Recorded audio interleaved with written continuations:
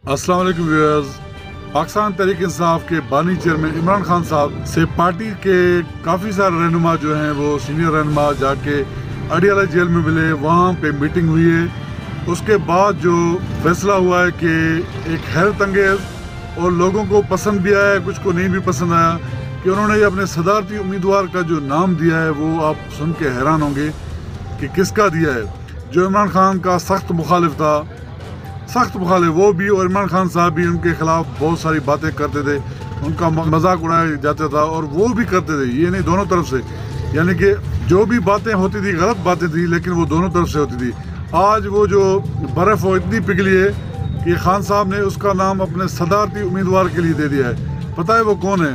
वो है महमूद खान अचकजई। और महमूद खान खान अचकजई ने जो कल तकरीर की है कौमी असम्बली में, उसके बाद तो लोगों के दिल जीत लिए उसने। और उसने जो बयानिया अपनाया है, वो इमरान खान साहब का ही बयानिया है। और उसने कहा है कि वजी अजम इमरान खान साहब को होना चाहिए। वोट लोगों ने पाकिस्तान के अवाम ने इमरान खान साहब को दिया है। तो एक करारदार लानी चाहिए और उसमें देर नहीं करनी चाहिए। खान साहब जेल से बाहर हो, और वो असम्बली में हो तो पाकिस्तान चलेगा। वैसे पाकिस्तान नहीं चलेगा, पाकिस्तान पीछे ही जाता रहेगा, पाकिस्तान खड्डे में जाएगा। ये देख लेना और आवाम पे और सख्तियाँ आएँगी। ये आप देख लेना और खान साहब के अंदर भी ऐसा लग रहा है कि जेल में जो है ना, वो नरमी आई है। जो ये फैसला किया है, वैसे ये फैसला नहीं आता इस तरह का।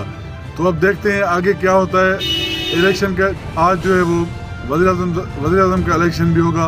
पहले फार्म जो है जमा होंगे, उसके बाद वजी अजम का इलेक्शन होगा। वो तो पता है वो चोर मैंडेट जो है अभी कुछ कुछ अरसे के लिए तो ये चोरी का मैंडेट चल सकता है, लेकिन ये देर पा नहीं होगा। इसके खिलाफ जो है पूरी कौम उठ खड़ी होगी। की और बाहर से आवाज़ें आ रही है इंटरनेशनल आवाज़ें आ रही है। पाकिस्तान की सीनियर क्यादत वो इकट्ठे होगी और मौलाना फजल रहमान जैसा बंदा देखें।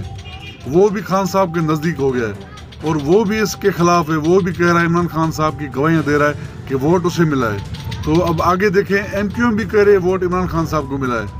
हालाँकि एम क्यू एम का अपना जो मैंडेट है, वो भी चोरी का है लेकिन वो भी कह रहे हैं कि इमरान खान साहब को वोट दिया है अवाम ने। और पीपल्स पार्टी के अंदर से भी आवाज़ें आ रही है। देखिए, खान साहब के सख्त मुखालिफ जो, सख्त उसकी अपोजिशन करते रहे पूरी, जो है बीस पच्चीस साल।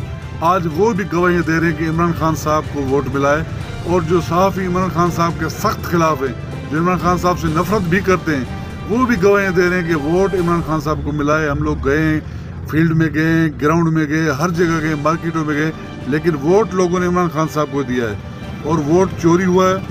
चोरी की जो हुकूमत है, वो किसी को भी कबूल नहीं होगी, ना ही हमें होगी, ना किसी अवाम को होगी, न किसी गैरतमंद माशरे में किसी मुल्क को होगी। ये आज की हालात है। तो देखते हैं अभी मोहम्मद महमूद खान अचकजई को कितने वोट पड़ते हैं, क्या होता है। और वो अपने अपने टाइम भी जो है वो सोर्स लगाएँगे वोट लेने की। इनशाला जो भी होगा अच्छा ही होगा। दूसरी तरफ़ इमरान खान साहब ने जो इलेक्शन में धांधली के खिलाफ मुल्क गिर एजाज की कॉल दी थी। उस पर पाकिस्तान तहरीक इंसाफ के पूरे कारकुन पाकिस्तान, पूरे पाकिस्तान में उमड़ कर आ गए और लाहौर तो मैदान जंग बनाया हुआ देखें, पूरी कैदत और शेर अफजल मरवत देखें, कैसे पुलिस को चकमा दे के लाहौर पहुँच गया उसका काफिला भी और वहाँ पे वो क्या कर और लाहौर में देखें, पूरी सड़कें जाम हैं। वहाँ पिंडी में देखें, पिंडी में हालत देखें और पिशावर देखें, पूरे मुल्क में इस तरह के हालात हैं कि जो मैदान जंग बने हुए हैं। अब देखते हैं आगे क्या होता है। उम्मीद है अल्लाह से कि अच्छा ही होगा और एहतजाज बिल्कुल कामयाबी से जा रहा है और अल्लाह करे खैर अमान से वो ख़त्म हो जाए। उसके बाद जो रिज़ल्ट आएँगे, क्योंकि पाकिस्तान में हुकूमत ऐसी बनी है ये दो नंबर तरीके से हुकूमत बनी है दो नंबर तरीके से जिस तरह रिज़ल्ट आए हैं इलेक्शन में तो वो हालात पूरी दुनिया ने देख ली। अब आगे देखें क्या होता है। तो ये थी आज की अपडेट। तो वीडियो पसंद आए तो वीडियो को लाइक और शेयर ज़रूर कीजिएगा। और अगर चैनल बने तो प्लीज़ चैनल को सब्सक्राइब करें। शुक्रिया, अल्लाह हाफि